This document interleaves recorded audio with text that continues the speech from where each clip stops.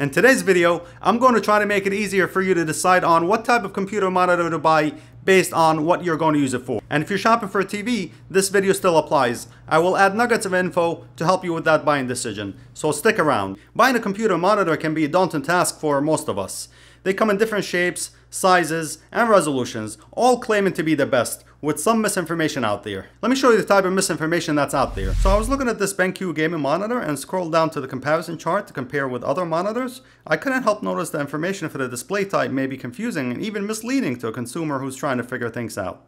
This monitor shows an LCD display type. Let's check out B&H's website. It says LCD. Best Buy says LED. Back to the comparison chart, this one says IPS, others show LED. What the heck is going on here?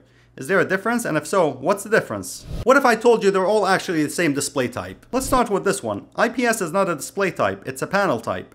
LED is a subcategory of LCD. They're all LCD, more specifically LED. CNET's website correctly identifies the display type. It's an LED backlit LCD monitor.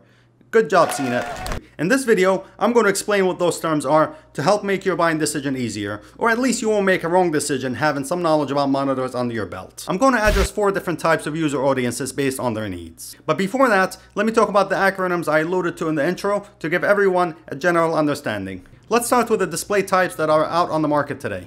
All of today's monitors are LED. LED is a subcategory of LCD. LCD is the technology that replaced the now obsolete CRT, or the cathode ray tube. You remember those bulky monitors and TVs? LED and LCD are pretty much the same technology. Both use liquid crystals. The difference is in the backlight that shines on those crystals. Standard LCD, which was introduced about 20 years ago, used a gas discharge fluorescent light source as a backlight whereas LED uses a semiconductor light source that emits light when electric current flows through it. You've probably heard of the term OLED that was introduced back in 2013. OLED monitors are still in the early stages of development with only a handful of models that were announced late last year, but OLED technology has been around for a few years on TVs.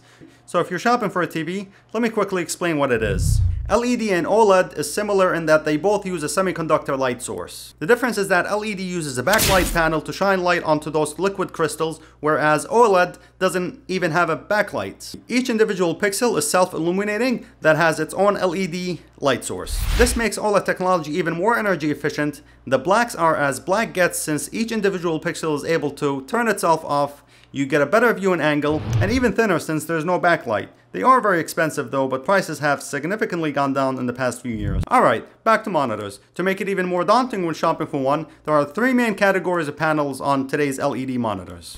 It's important to know the difference based on what you're going to use your computer for.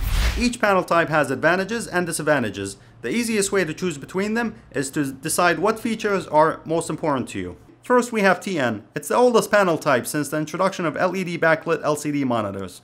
The disadvantages to TN panel types are that they are horrible at color reproduction, having a bad contrast ratio, and a limited viewing angle, where the screen doesn't become as visible unless you're staring at it dead center. So why are they still being produced today? For starters, they're cheap, fitting the most budget-friendly options. Most importantly is that they are great for gamers, having the fastest response time, usually around 1 millisecond or less, they also can handle high refresh rates of up to 240 Hz. I'll talk more about refresh rate and response time later in the video.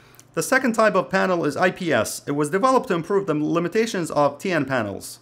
The colors and viewing angle are very good. You can view the screen from an angle and still get accurate color reproduction. The last type of panel is VA. That's a compromise between TN and IPS, having the best contrast ratio and a viewing angle as well as a decent response time and refresh rate. Contrast ratio is the difference between how white and how black a monitor can get. The refresh rate, measured in hertz, is defined by the number of times in a second that the display's image is updated. The higher the number, the smoother the image. A higher refresh rate is extremely useful for gaming, as it means the monitor is truly capable of rendering individual frames beyond the 60 frames per second standard. The response time is the amount of time it takes in milliseconds for a pixel to go from one color to another and back again, or how quickly a monitor shows image transitions. Higher rates of 9 milliseconds and up can cause ghosting, motion blur, and smearing of text. Gamers like a response time of 5 milliseconds or less. There are several connection port options that can be used to connect your monitor to your computer. Here's a list of the most commonly used ports. VGA is now pretty much obsolete as it's an older connection that doesn't support resolution of more than 1080p. More on that resolution later in the video. DVI is similar to HDMI but it doesn't support the transmission of audio. HDMI allows you to transmit audio as well as video and offers higher resolutions. DisplayPort, this is similar to HDMI, but allows higher refresh rates of up to 240 Hz. USB Type-C is another option if your monitor supports it. The shape of the monitor has very little to do with performance. It's really about personal preference. Standard design supports an aspect ratio of 4 to 3, I don't see many of these monitor types on the market unless it's a specialty purpose monitor like a POS system. Wide design is the new standard. Most monitors today are widescreen and offer an aspect ratio of 16 to 9. Ultra-wide design is popular with gamers and creative professionals. If you want more cinematic experience or more horizontal real estate, you can opt for an ultra-wide monitor with a 21 to 9 aspect ratio. Curved design looks cool and allows for a better range of viewing angles as well as minimal distortion compared to that of a flat screen display. Monitors get smudgy when touched and dust can easily collect on them, so maintenance is important. Don't just use water and a rag. Instead use a screen cleaner protector and wipe with a microfiber cloth to keep your monitor clean. Hey, quick pause. If you're getting value out of this video, do me a favor and hit the like button. It helps with the algorithm for the growth of this channel. A monitor or TV resolution is the number of pixels displayed on the screen. The higher the resolution, the better the picture quality. A pixel is the smallest area of illumination on a display screen. Every display has a set of specific dimensions measured by the number of pixels. When you see something like 1920 by 1080 or 1080p Full HD, it refers to the frame or dimension of 1920 pixels in width by 1080 pixels for the height, giving you a total of 2,073,600 pixels that make up that image. Most TV and online video content are an aspect ratio of 16 to 9. If you divide 1920 by 1080, you get 16 over 9 by reducing the fraction. Let's look at other mainstream resolutions. SD format is an old format that was prevalent in the 20th century well into the late 90s and had an aspect ratio of 4 to 3. That's why older TVs and monitors were kind of squarish looking. Enter the HD era that was introduced in the late 90s and we started seeing more sharper videos being broadcasted by TV networks.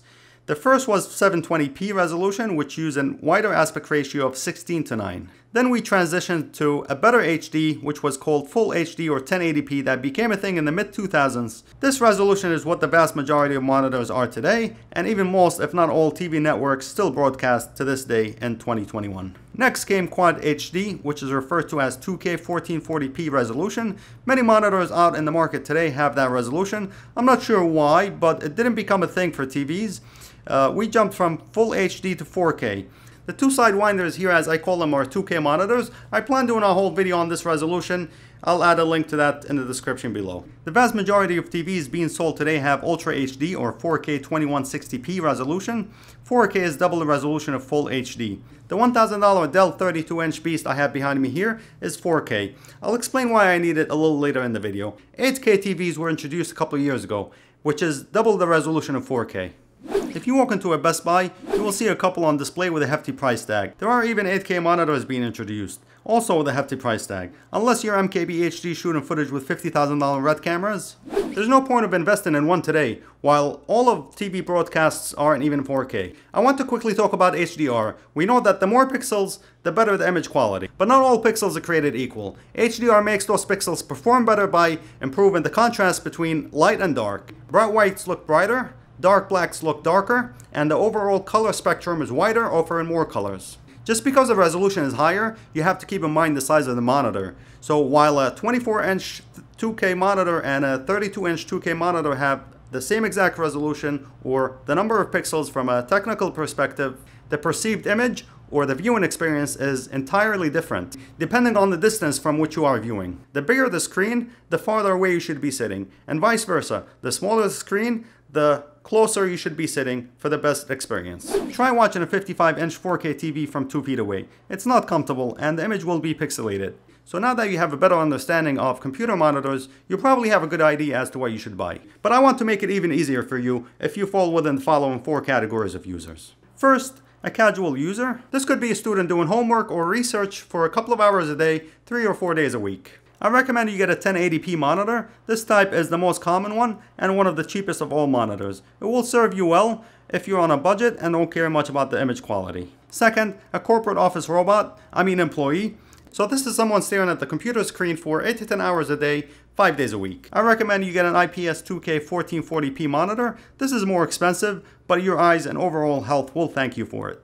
I plan on doing a whole video dedicated to this type of monitor. I'll add a link up here when that video is ready. Third, a gamer. This is someone who spends many hours on their PC. It's difficult making a recommendation here, but I will take a stab at it. The reason is that it depends what kind of gamer you are, with the types of games you play, and the GPU or graphics card you're using. If you play competitively, no argument here. Go with a TN 1080p panel monitor as any decent GPU will easily handle the graphics and it will give you the highest refresh rates and fastest response times. You can also go with a 1440 IPS panel with similar refresh rates and response time if you have more money to shell out. And if a crypto miner dies and you get lucky scoring an RTX 3080 GPU. A 4K monitor could also be an option if the game supports it and you have a spare kidney to sell and you get an RTX 3090 GPU from a scalper. The last type of user is a creative professional. This is someone like myself, a video creator who spends a lot of time doing creative work. I shoot all of my content on the Sony a7 III and all of my videos are 4K resolution. I recommend an IPS 2160p or 4K monitor that provides the highest resolution to help with the accuracy of colors when editing videos and photos. I'm in the process of doing a full review video of the Dell 4K 32-inch monitor that I have behind me here, which I've been using for a year and a half. I'll add the link up here when that video is ready. By the way, if you're wondering about laptops, the same applies. You just need to find a laptop with a display that best fits your needs based on what you learned in this video. If you still can't decide on which specific brand of monitor to buy, in the description below I added links to my favorite monitor. Hey, thanks for watching this video. If you got value out of it, smash the like button. And if you haven't done so already, subscribe and hit the bell icon to be notified of any new content I put out. Let me know in the comment section below what monitor you use and if you have any questions about this video.